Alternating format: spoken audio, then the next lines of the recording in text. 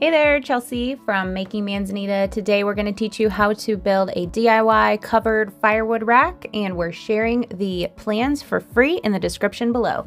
We are working on a new project this week. We um, are taking a little, tiny little bit break from our living room.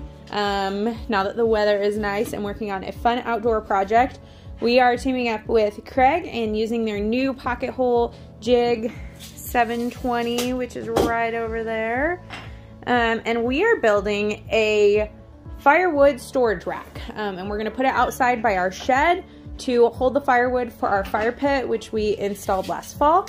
Um, and we're getting started today. So we're using a combination, uh, this is all cedar, two by fours, what are these, one by fours, and then the top roof, we're gonna be using these fence pickets um, and stacking them up so it looks like a roof. Um, but the two by fours will be kind of the main structure and then the one by fours are going to be slats on the sides. So we've got, um, we're both working on this today. So we've got our little cutting station set up. This is one of the reasons why we have multiple miter saws, um, so we can both work at the same time. You ready to get started? yeah. So you wanna start off by cutting the wood down to size. Again, we are sharing the free woodworking plans for this in the video's description, and it has a cut list with all of the uh, dimensions for the wood, so you can just refer to that if you wanna build a firewood storage rack just like this one.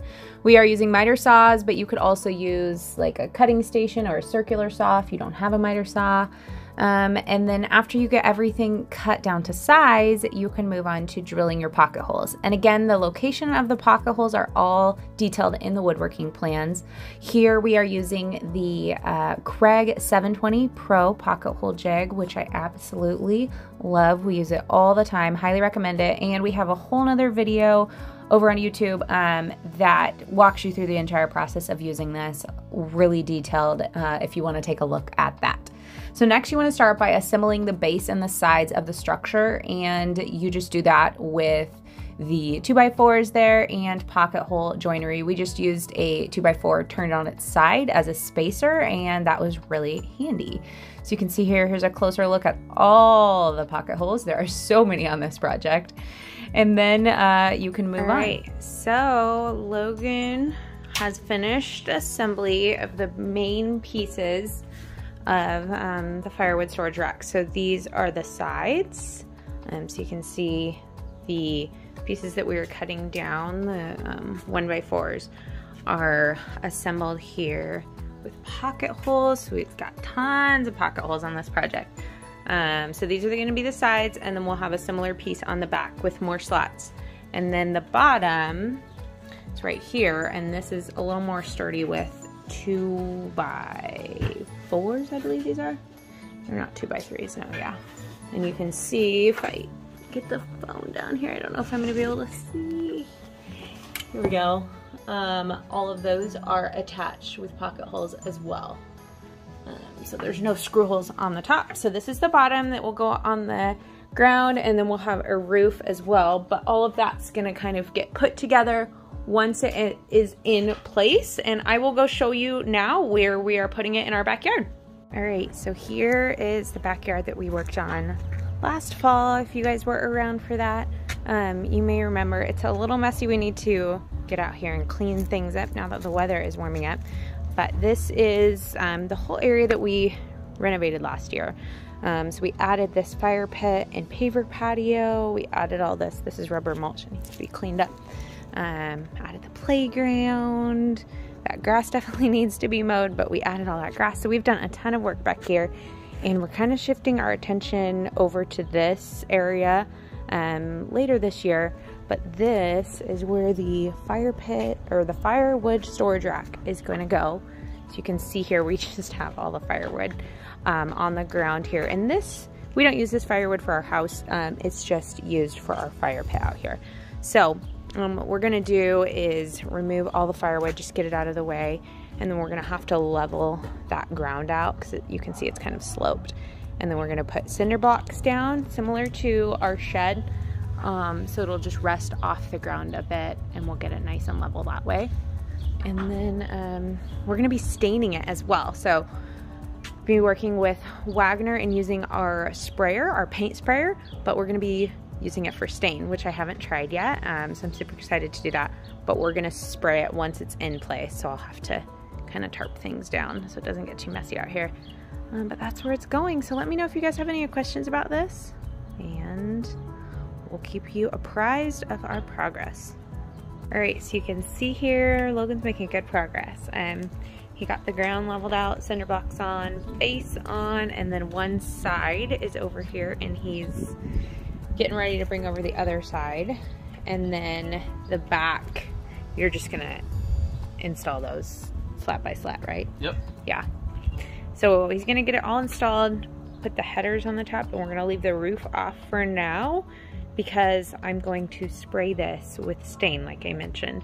Um, so we wanna do that kind of before the roof's on. It'll be a little easier to get the stain everywhere we need. So that's gonna be pretty cool, guys. For the connection of the base to those side panels, we attached it with two and a half inch construction screws and then those vertical supports were all added to the back once both sides were installed. And this is how it looks when it was all assembled. And again, we left the roof off for this part and we just put the kind of framing up there, uh, up top, there it is. And so that it would just be a little easier to stain. So for staining, I'm using this Olympic Maximum uh, stain, which I ended up loving. It's a water-based stain. I've never used it before. And we applied it with our Wagner Flexio 3000 paint sprayer. And I had never applied uh, or used the paint sprayer for stain. So this was kind of a fun project for me to try this for the first time. I actually love using the sprayer for stain. I think it's actually way easier than using it for paint. So that was a fun little discovery. And I have a whole video on what you need to do if you're using stain with your paint sprayer. So be sure to check that out for a lot more details on this process. But we got the stain applied. Uh, we went with the natural cedar uh, color and that paint sprayer really helped get it into all those nooks and crannies. I can't imagine wiping the stain on with all of these slats and edges and little corners. It would just be tragic. So I'm glad I decided to use a sprayer for this part. And then what you're not going to see here in the video is after it was uh, dried, we added the cedar plank stat slats, uh, fence pickets is what we were using, to the roof. And we just stacked them on top of each other to kind of get a little angled edge there. And we just did that with a two inch galvanized nails from the top of brad nailer. So this is how it looks. It got all loaded up with the wood that we had on hand. And this is just the wood that we keep in our backyard for our fire pit, which is right there on the paver patio. And I love that it is covered. Um, it's you definitely want to have somewhere to store your wood outdoors that's covered so it's not getting rained on and snowed on and dumped on. So if you guys enjoyed this video, I hope you did. But be sure to let us know. Push that thumbs up button, leave a comment, uh, let me know if you have any questions. Download the free firewood holder plans. They're in the description so you can build it yourself. And then while you're here, we would of course love it if you'd subscribe to our channel. We share weekly DIY and renovating videos just like this one. And then be sure to check out this video next. I think you will love it. All right, we'll see you next week. Bye guys.